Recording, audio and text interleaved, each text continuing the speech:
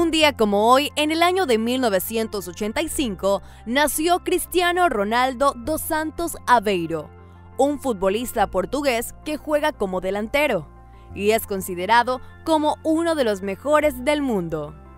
Desde niño mostró su buen desempeño en el fútbol y se destacó por su habilidad con la pelota. Su carrera ha sido vertiginosa. A los 16 años ya jugaba para el Sporting de Lisboa, en donde fue perfeccionando sus habilidades y deslumbró a propios y rivales. En el año 2003 fue vendido al Manchester United, club en el que terminó de consagrarse como uno de los mejores jugadores de todo el mundo y en donde cosechó algunas de sus máximas conquistas deportivas. En junio de 2009 fue fichado por el Real Madrid, que desembolsó 94 millones de euros, la mayor suma de dinero jamás pagada por un futbolista. A lo largo de su carrera profesional, ha conseguido batir diversos récords.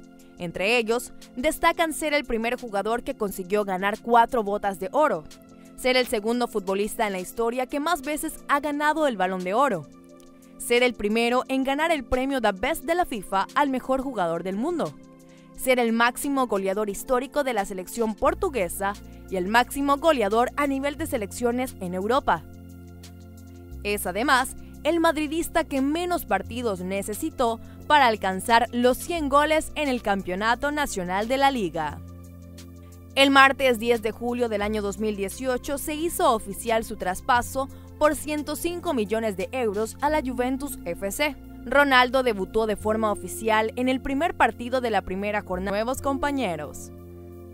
Cristiano Ronaldo es un jugador dinámico y veloz que se aprovecha de los espacios ofensivos. Su buen manejo de balón le permite acelerar sus jugadas. Esta misma velocidad le otorga un... La FIFA es el cuarto jugador más rápido del mundo, con una velocidad punta de 33.6 km por hora. Es por eso que un día como hoy recordamos su nacimiento.